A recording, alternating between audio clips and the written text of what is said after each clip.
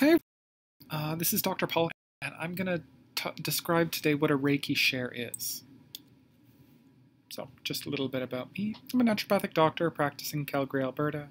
Focus on autoimmunity, infectious disease, autism, digestive health, detoxification, and cranial work.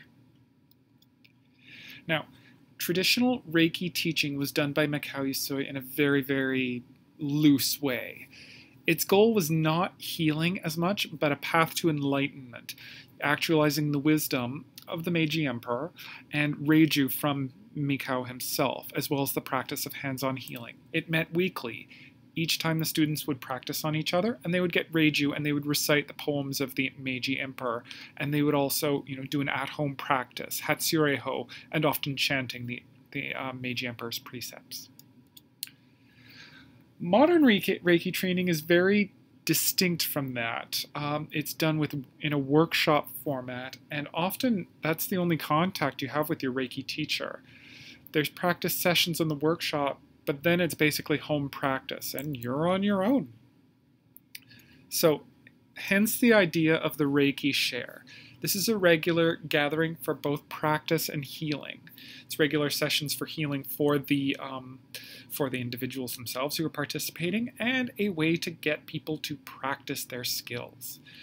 Um, it's also the ability to use some advanced Reiki practices that you can only do in groups, like Reiki circles, or a thing that I've been experimenting with, well, was before you know the quarantine, Reiki shares surrounded by a Reiki circle having a Reiki session surrounded by a group of people in a Reiki circle, which is amazingly powerful. So, just a little uh, show, show of that. Doing multiple session, uh, having multiple people doing Reiki on a person at once is very, very powerful, and it is a wonderful thing, and it's also very fast. In modern times, we live in a, an era of social distancing, and we need to utilize some different technologies. Hence, the Zoom Reiki share we connect on a Zoom session and give distant Reiki to one another. And this and Zoom now allows Facebook interaction as well, so we can um, you know have this and record it on on Facebook and have it there so that people can participate even afterwards.